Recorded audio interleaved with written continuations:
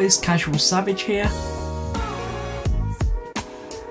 And in this video I'm going to be showing you how to do a pop-out effect in Vegas Pro 14. So on screen right now is the raw footage of the video you saw at the start, so I'll play it from the beginning. What's going on guys, Casual Savage here.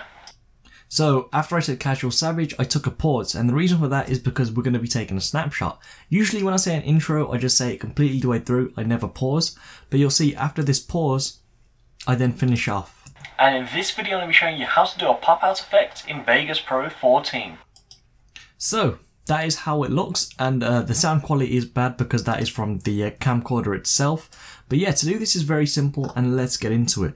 So I took a pause here. Of course you don't have to, this is just how I prefer to do it. And what I'm going to do, I'm going to find the part where I stop talking and we're going to take a snapshot. So let's find it. Savage here. Right there. I'm then going to press S on my keyboard right here and we can trim this down so we can match it back up to where we start talking again and we can drag this off to the side. Now, for this first clip, we're going to go back one keyframe by pressing the left arrow on your keyboard.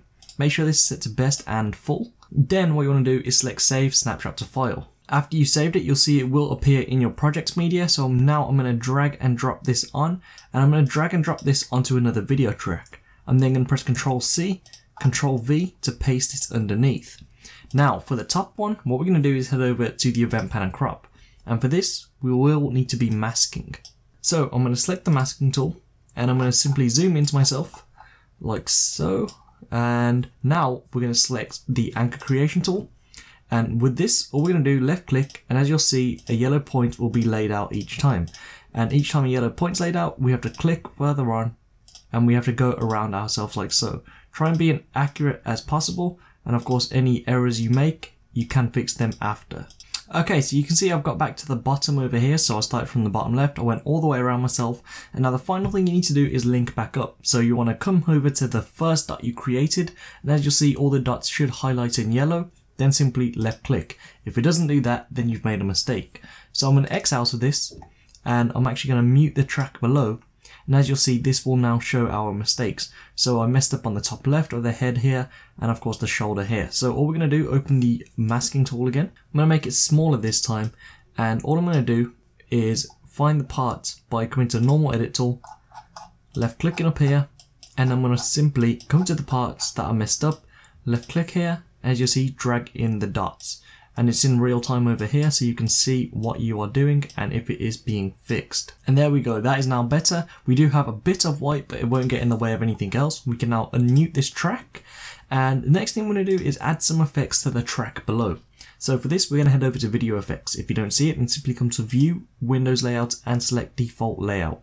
Now from video effects there is a ton of different things you can add. The first thing I'm going to add is, let's see, I will add a black and white. Let's go with black and white. So I'm going to drag and drop black and whites.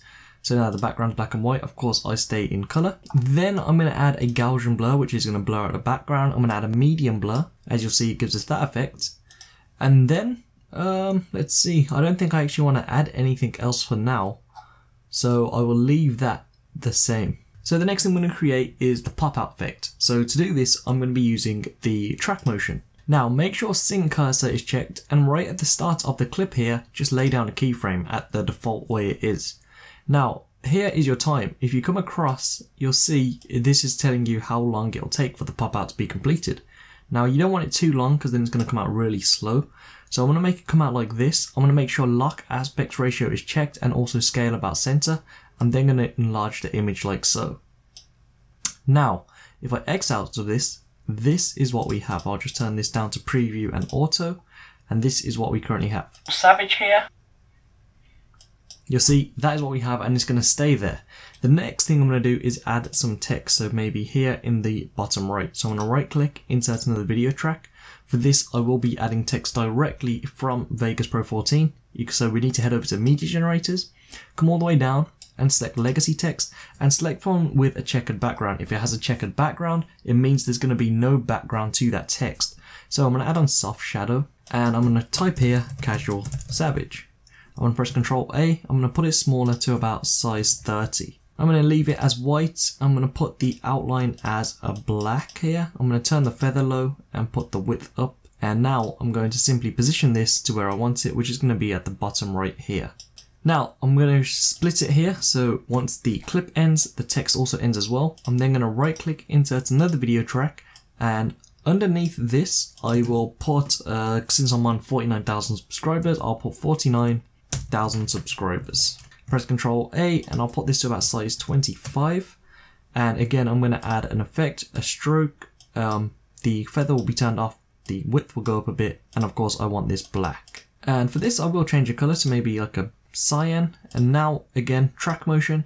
I'm going to position this underneath the casual savage text here, just like that. So I can now X out of it, again, split the ends, delete. And now we need to add some transitions to the text. So for this, we need to head over to transitions and I am going to be using a slide. So it's right here and I want it to slide in from the right to the left. So I'm going to drag and drop this on both of them, X out of this, drag and drop this on here.